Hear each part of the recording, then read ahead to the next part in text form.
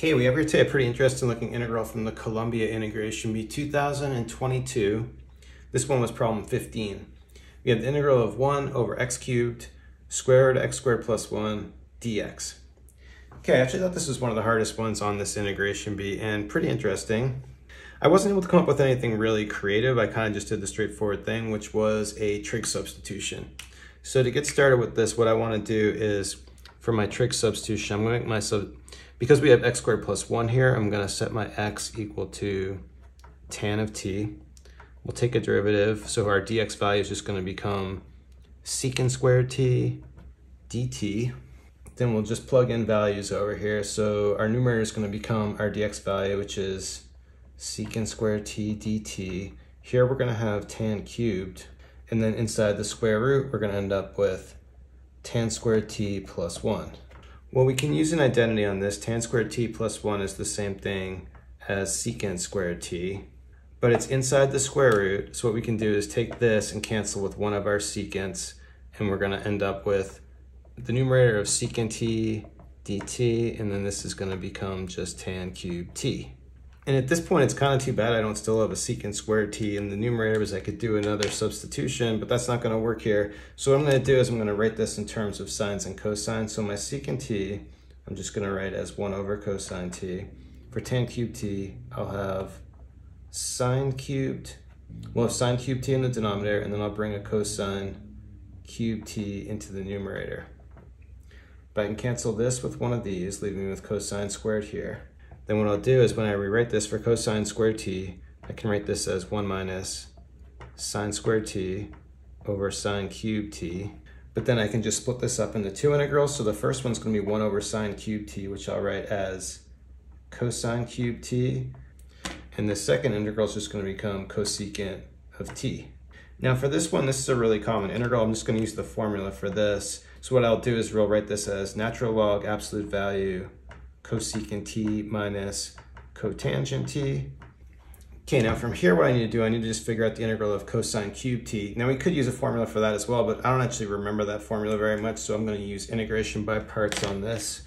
And we'll use the DI method or tabular integration. We'll split up this cosine cubed t into two parts. I'll have my, my first part's gonna be cosecant t to differentiate, and then the second part to integrate is gonna be cosecant squared t. Sorry, I don't know if I keep saying cosine here. This is cosecant. I just want to be clear that this is cosecant and this here is cosecant as well. For some reason, my brain wants to say cosine. I don't know why.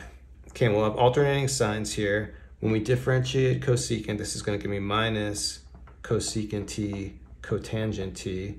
And then here, integrating cosecant squared t is just going to be minus cotangent t. So then we have part of our solution here on the diagonal, just this minus cosecant t times cotangent t. And then here, minus and minus is going to cancel, but we have another minus. So this is going to be, and of course, this is an integral here. So when I write this, we'll have our minus out front. We'll have a cosecant t, and this is going to become cotangent squared.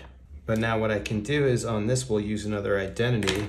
For this, I can write this as cosecant squared t minus 1.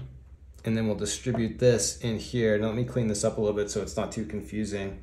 This cosecant cube that we're trying to find, I'm gonna label this one i, so we can just keep track of everything. So we're gonna have i equals this, which is minus cosecant t cotangent t. Then we're gonna have minus, then we distribute in cosecant to cosecant squared.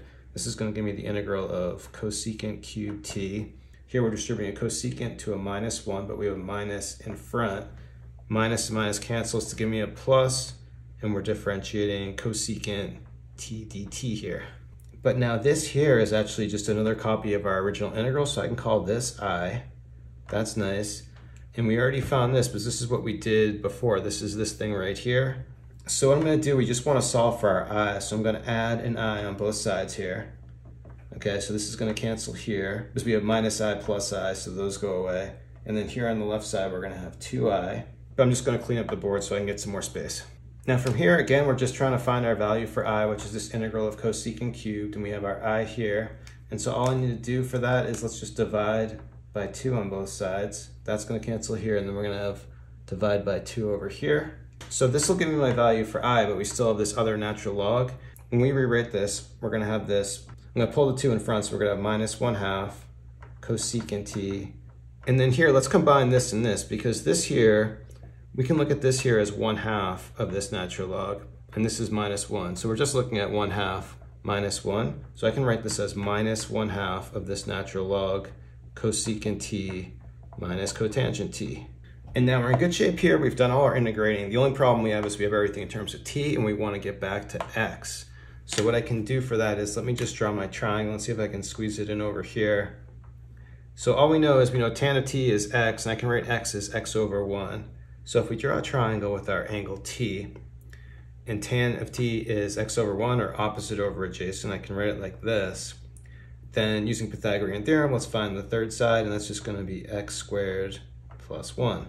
And you'll notice all we really need is we need cosecant of t and cotangent of t. Cosecant t, cotangent of t. So for cotangent of t, that's just going to be the reciprocal of this. We really didn't need a triangle for that, right? Because for cotangent of t, it's just adjacent over hypotenuse or 1 over x. And then cosecant over t is going to be hypotenuse over opposite. So it's going to be square root of x squared plus 1 over x. And so now we have all the values we need right here in order to finish this thing off. So let's just start plugging in. So we're gonna have minus one half cosecant times cotangent, that's this times this, it's gonna be square root of x squared plus one over multiplying the denominators is gonna give me x squared minus one half natural log. Now for these, we have the same denominator, they're both x, so I can write it all over x. And then we're gonna have just the square root of x squared plus one minus just a one We'll put an absolute value around that, plus C, and that's it. Okay, thought it was a pretty good problem. It was a little bit of a grind doing the trig substitution. Let me know if you had some better ways. I wonder if there's maybe a creative solution that I wasn't seeing, and maybe you had a quicker way to do this. So we'll stop it there. Thanks everyone for watching. Have a great day.